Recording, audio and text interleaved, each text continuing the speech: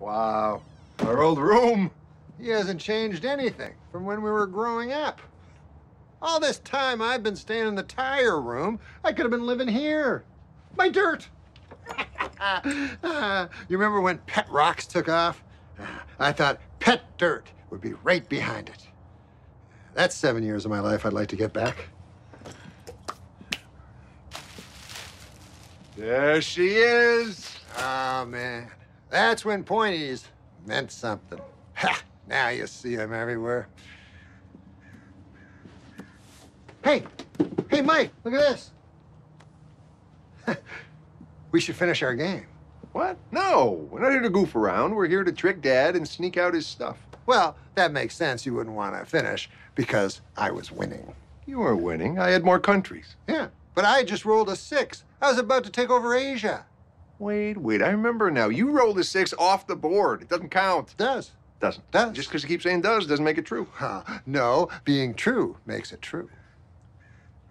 Fine. I'll let you roll again. See what you get. Okay.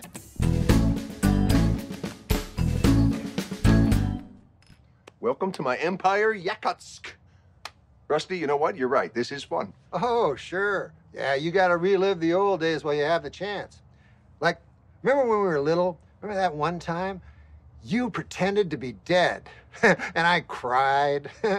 and you still pretended to be dead, so I cried more. And then you laughed and called me a moron and tickled me till I peed myself, and I cried. What? I never did that. Sure, you did. You used to do that stuff to me all the time. Yeah, you don't know what you're talking about. Like what kind of stuff? Well, you told me Jesus didn't love me. That one hurt because all the kids at Sunday school always said, Jesus loves me. So I thought, man, this Jesus guy loves everybody. What's his beef with me? Wow. Rusty, I'm sorry. There was this one time you locked me in the closet all night, and I cried, and you said if I didn't stop crying, then Bobby Sherman would kill our mom. Bobby Sherman, the singer? Yeah, Why would you believe that Bobby Sherman, the singer, was going to kill Mom? because I believed everything you told me.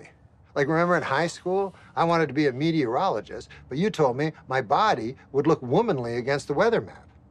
That's when I got out of the old pet dirt biz. We all know how that worked out.